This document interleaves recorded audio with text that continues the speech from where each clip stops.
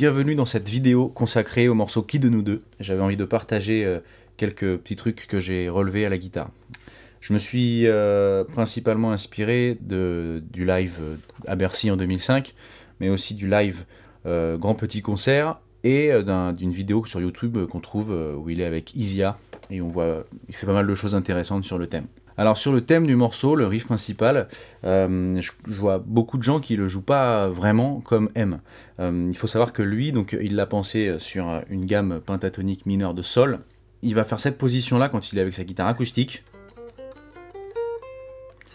Et euh, quand il est avec sa guitare électrique, ça va être cette position-là. Et il est très important de bien écouter les effets de jeu que rajoute M un des effets de jeu principaux de, ce riff-là, c'est avant même qu'on entende la première note, on a ce qu'on appelle un rake. C'est-à-dire qu'on va venir, moi je me, sers là de, l'index et du majeur pour bloquer les cordes, pour faire des dead notes, donc j'appuie pas sur les cordes mais je les touche juste pour les empêcher de résonner, et je mets mon annulaire déjà sur ma note d'arrivée. Donc au ralenti c'est moche. Ok. Mais lui, on entend voilà ce côté-là, donc c'est un côté très râpeux avant même qu'on entende la première note euh, du riff. on est un peu passé au, papier au papier de verre quoi. Sur cette note-là, on va avoir un léger bend à la toute fin de la note. Avant de l'arrêter de manière plutôt brutale. Souvent, il va rajouter un hammer.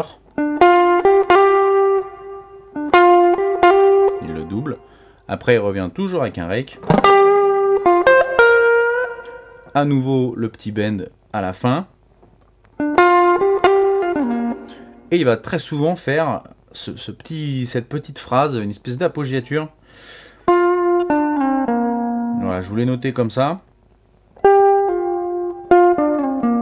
On, peut, on le voit faire ça aussi, euh, c'est la même phrase, pas au même endroit. Ok, donc tel que je voulais marquer sur la tablature.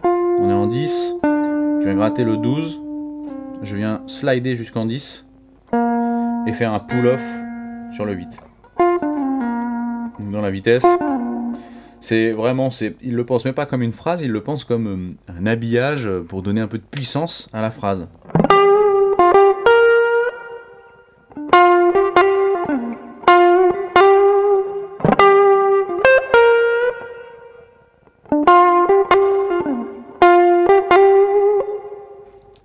Donc euh, voilà, très peu slides euh, de slide sur le manche, les bends doivent être euh, bien dosés, et ce sont ces petits détails qui font que le morceau a toute sa saveur, et le, riff sonne vraiment très puissant par rapport à si on le joue un peu scolaire.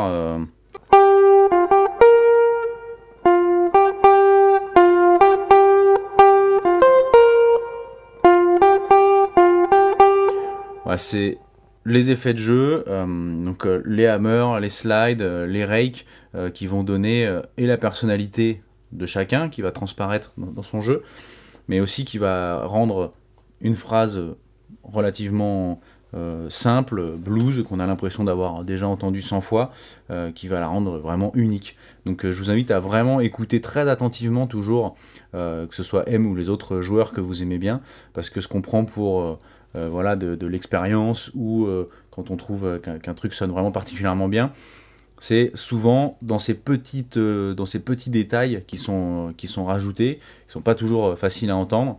c'est pour ça que les vidéos sur YouTube, c'est bien, parce qu'on peut voir vraiment les, les doigtés, les doigtés qui sont utilisés et qui rendent, qui rendent possible certains, certains de ces effets de jeu.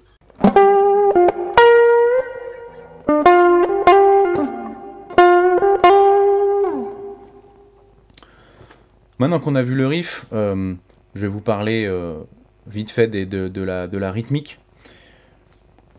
La première, euh, la première rythmique, c'est celle de M sur le live 2005.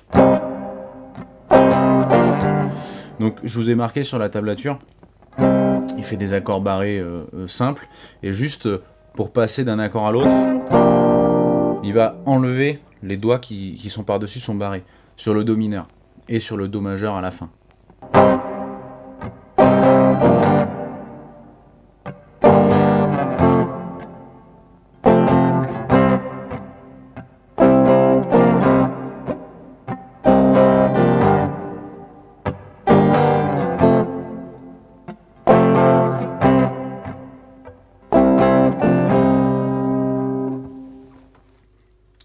La deuxième partie rythmique, c'est euh, la partie de Seb Martel, donc euh, le second guitariste sur le live de 2005, où il fait des, voicings d'accords euh, assez intéressants, toujours sur les, sur les trois cordes du milieu de la guitare, cordes de Ré, Sol et de Si, où on a cette position-là pour le Do mineur, celle-là pour le Sol mineur, ça c'est un Fa, et ça c'est un Do. Toujours très cool d'avoir différents voicings pour les mêmes accords. Donc ça c'est réduction du Do mineur comme ça. Le Sol mineur, on peut le voir comme ça, le Fa et le Do. Et lui il joue, il joue des noirs.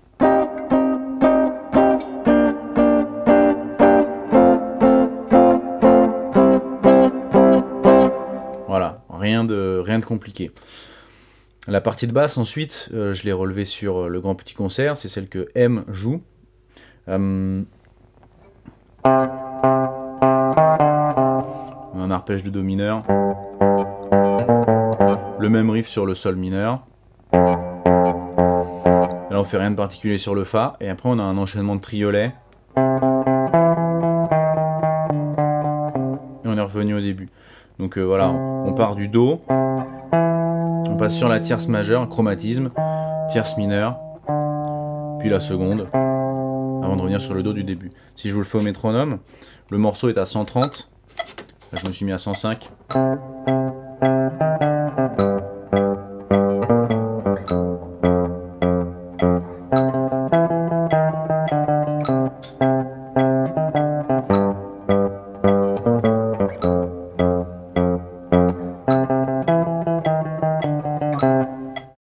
Après, la partie solo que vous avez pu voir dans la vidéo, c'est euh, le solo du live 2005, avec euh, pas beaucoup de phrases, mais des choses très, euh, très punchy, donc très sympa à jouer. On est sur la pentatonique mineure de sol, et comme assez souvent, il va venir commencer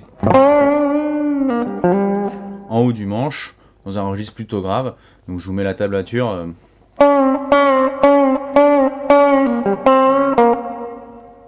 Une phrase bien bluesy.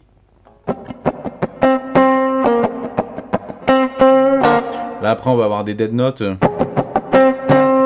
Je vais me servir de la même technique euh, moi en général que celle du rake là, c'est-à-dire que je vais venir positionner mon annulaire pour ma note d'arrivée et euh, mon index et mon majeur vont venir eux bloquer les autres cordes. Moi ça va me permettre de gratter tout mais d'avoir que ma note voulue qui ressort, et le reste, euh, on entend des cordes gratter, donc euh, ça, ça rajoute un truc dynamique. On finit avec euh, un trill comme ça, ok, sympa. Et après, on va choisir deux notes de notre accord. Ça, on reconnaît les deux notes du Do mineur, ok, on a le Do et sa tierce mineure. On a la tierce mineure et la quinte du Sol mineur.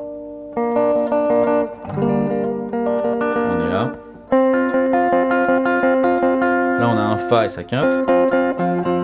On est là. Puis à nouveau un Do, sa tierce majeure. Et lui fait évoluer euh, sur beaucoup beaucoup de grilles avec euh, toute la rythmique euh, qui prend, qui prend de plus en plus de place. Donc il le fait avec la wah pour donner une espèce d'enveloppe comme du phasing.